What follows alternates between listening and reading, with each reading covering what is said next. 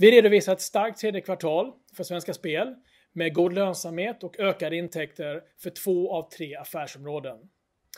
Affärsområdet Sport och Casino ökar intäkterna och här ser vi speciellt sportspelen som går bra.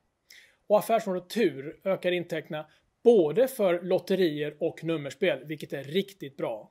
Vi ser en fortsatt fin utveckling av kundbaserna och vår digitala affär fortsätter att växa.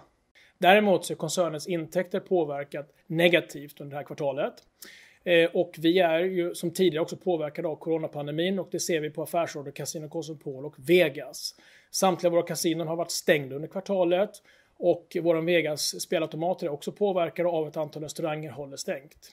Trots det så visar vi god lönsamhet, vilket visar på både styrka och stabilitet på koncernen. Höjdpunkten under kvartalet har varit två stycken nya stora produktlanseringar. Den ena är Svenska Spel Trav och Galopp, där vi i samarbete med fransk eh, hästsport erbjuder internationella hästkapplöpningar. Bland annat via det dagliga högvinstspelet High Five. Den andra stora nyheten är Biltriss, där våra kunder kan skapa fram och vinna en Tesla, det vill säga en elbil. Och det är första gången vi lanserar varuvinster nu på Triss. Och redan nu har flera kunder lyckats just skapa fram en ny bil, en Tesla. Stort grattis till er! Vi fortsätter leverera miljonvinster till svenska folket. Stryktipset har redan i år delat ut 47 miljonvinster, vilket går mot ett rekord, det bästa på fem år. Och våra nummerspel har delat ut 242 miljonvinster på över en miljard kronor. Helt fantastiskt!